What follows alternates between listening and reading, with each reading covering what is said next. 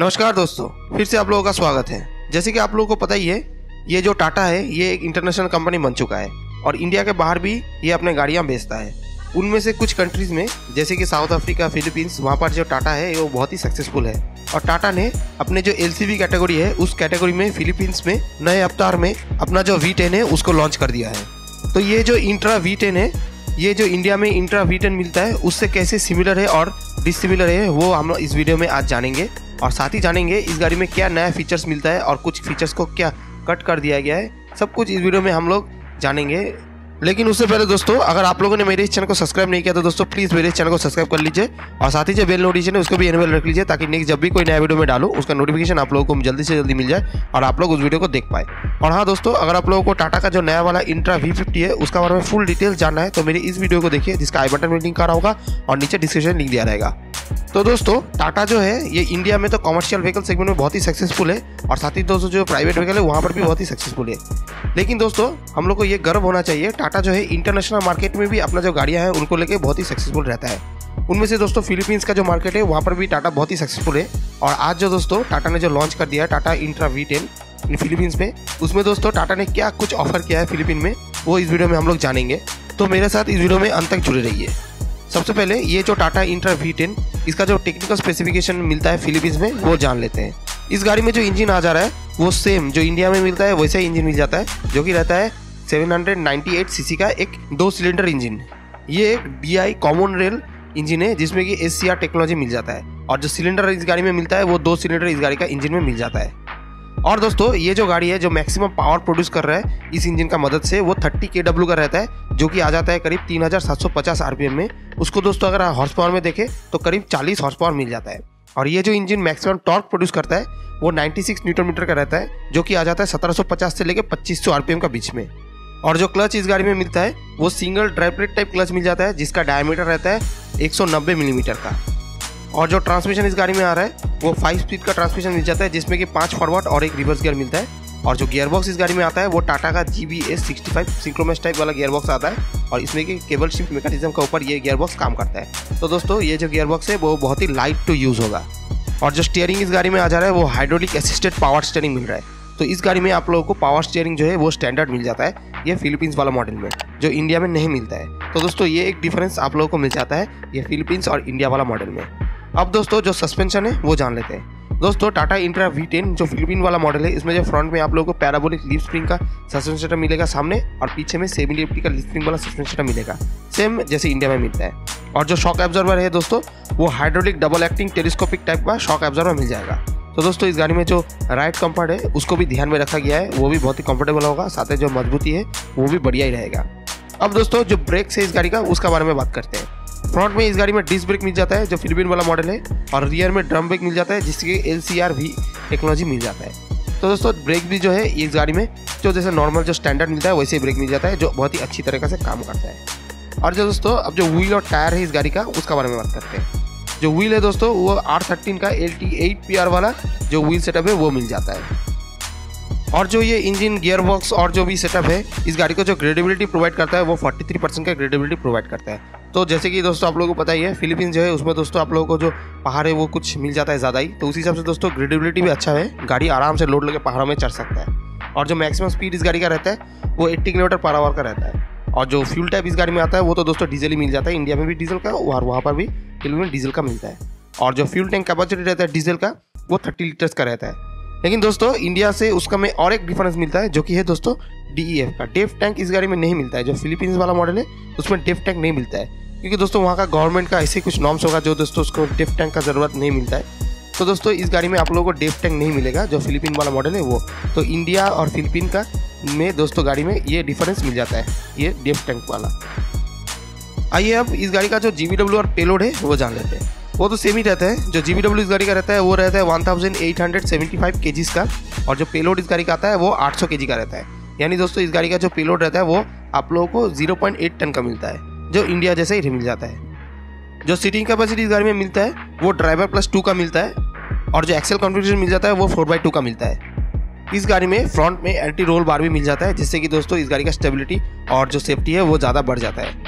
अब दोस्तों, इस गाड़ी का जो व्हील बेस है, वो जान लेते हैं। इस गाड़ी में जो व्हील बेस मिल जाता है, वो मिल जाता है two thousand two hundred fifty millimetre का और जो टर्निंग सर्कल का डायमीटर मिलता है, वो मिलता है नाइन पॉइंट फाइव मीटर का।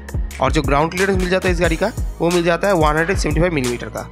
और जहाँ तक बात है इस गाड़ी का ओवरऑल डायमेंशन को लेके तो उसका बात कर लेते हैं। दोस्तों, इस गाड़ी का जो व्हीकल डायमेंशन रहता है लेंथ ब्रेथ और हाइट के हिसाब से, वो रहता है 4282 millimetre by 1639 millimetre by 1903 millimetre का। और जो लोड बॉडी का डायमेंशन रहता है दोस्तों, वो रहता है 2450 millimetre by 1540 millimetre by 300 millimetre का। तो दोस्तों, अगर आप लोगों का मन में कोई भी डाउट है, कोई भी क्वेश्चन इस गाड़ी का ऊपर, और दोस्तों फिलिपिन वाला और इंडियन मॉडल के बारे में कोई भी कन्फ्यूज़न रहता है तो दोस्तों कमेंट में ज़रूर से लिखिएगा। मैं कमेंट देखता भी हूँ और रिप्लाई भी करता हूँ। और हाँ दोस्तों, अगर अभी तक आप लोगों ने मेरे इस चैनल को सब्सक्राइब नहीं किया तो मैं आप लोगों से रिक्वेस्ट करना चाहूँगा दोस्तों, अगर आप लोगों को मेरा ये चैनल अच्छा लगता है, मेरा वीडियो अच्छा लगता है तो दोस्तों प्लीज़ मेरे इस चैनल को सब्सक्राइब ज़रूर से कीजिएगा। और दोस्तों, जो नोटिफिकेशन बेल होता है, उसको भी एनेबल रख लिया ताकि नेक्स्ट जब भी कोई नया वीडियो में डालूँ, उसका नोटिफिकेशन आप लोगों को मिल जाए और आप लोग उस वीडियो को जल्दी से जल्दी देख पाए। और हाँ दोस्तों, अगर आप लोगों को नया, जो टाटा योद्धा 2.0 यानी दोस्तों टाटा योद्धा दो टन जो उसका पेलोड रहता है, उस गाड़ी का और उस वीडियो के बारे में अगर आप लोगों को इन जानना है तो दोस्तों मेरे इस वीडियो को देखिए, जिसका आई बटन में लिंक आ रहा होगा और नीचे डिस्क्रिप्शन में लिंक दिया रहेगा।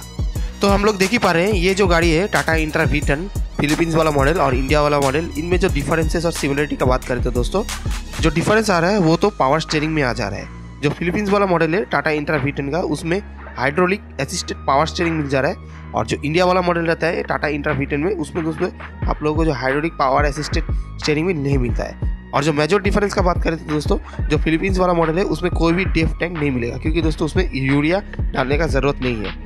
और जो इंडिया वाला मॉडल है इंट्रा वी का, उसमें यूरिया डालने का ज़रूरत रहता है, क्योंकि वो बी मॉडल है। और उसमें दोस्तों, एक डेफ टैंक मिल जाता है, वो फिफ्टी लीटर्स का डेफ टैंक रहता है, जो कि फिलीपींस वाला जो मॉडल है, उसमें नहीं मिलता है।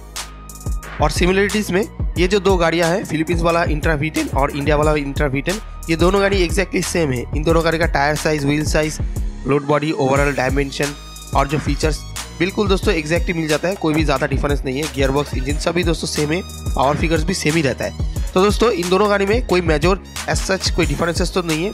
और जो डिफरेंसेस है, वो मैंने आप लोगों को बता दिया। और ये जो टाटा इंट्रा वी टेन जो फिलीपींस में बिकता है दोस्तों, वो दोस्तों इंडिया वाला मॉडल से एक्जैक्टली सेम ही। है और ये जो यूनिट्स है, ये दोस्तों फिलीपींस में अभी बनता है। फिलीपींस में दोस्तों टाटा ने फैक्ट्री को सेटअप किया है।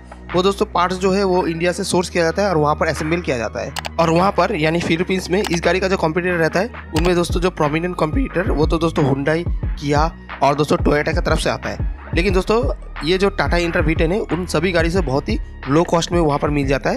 और जो दोस्तों फीचर्स और जो दोस्तों लोड बॉडी और पेलोड जो ऑफ़र करता है, उन गाड़ी से अच्छा ही ऑफ़र करता है प्राइस टू परफॉर्मेंस रेशियो में। अब दोस्तों, इस गाड़ी का जो एप्लीकेशन रहता है मतलब ये गाड़ी को कहाँ यूज़ किया जा सकता है, वो जान लेते हैं। ये जो गाड़ी है दोस्तों, वो इंडिया में एक एस कैटेगरी का गाड़ी है। तो दोस्तों, वो भी फिलीपींस में भी, वो एक स्मॉल कमर्शियल व्हीकल कैटेगरी में ये गाड़ी आ जाता है। और तो इसका यूजेस और एप्लीकेशन भी उस एस कैटेगरी का हिसाब से ही रहता है। यानी दोस्तों, जो हल्का फुल्का लोड दोस्तों शॉर्ट डिस्टेंस में जो डिलीवर होता है, उन तरह का लोड और दोस्तों, जो पार्सल लॉजिस्टिक डाक ये सब सेवाएँ में, दोस्तों, ये गाड़ी बहुत ही यूजफुली यूज़ होता है। तो दोस्तों, इस गाड़ी का जो यूजेज रहता है, वो तो दोस्तों, जो इंटर सिटी में जो दोस्तों लोड होता है एफ़ लोड दोस्तों डाक पार्सल कुरियर इस तरह का ई कॉमर्स जो ई लॉजिस्टिक होता है दोस्तों, इन तरह का लोड में दोस्तों, बहुत ही अच्छी तरीके से चलता है। और साथ ही दोस्तों, जो इंटरसिटी में जो दोस्तों, जो लोड जैसे कि दोस्तों वाइट गुड्स और दोस्तों मंडी जो कच्चा माल, इन तरह का लोड को भी दोस्तों, ये गाड़ी बहुत ही आसानी से ले जाता है। वो एक जगह से दूसरा जगह, एक शॉर्ट डिस्टेंस में। और अगर आप लोगों का कोई छोटा मोटा बिज़नेस है, जैसे कि distribution house white good wholesales इन तरह का अगर दोस्तों कोई आप लोगों का बिज़नेस है तो उन तरह का बिज़नेस को भी ये गाड़ी बहुत ही अच्छी तरह से सपोर्ट करता है। और उन तरह का जो बिज़नेस का जो लॉजिस्टिक्स या फिर दोस्तों ट्रांसपोर्टेशन में ये गाड़ी बहुत ही आसानी से यूज़ होता है। और दोस्तों माइलेज और सब कुछ बढ़िया मिलता है।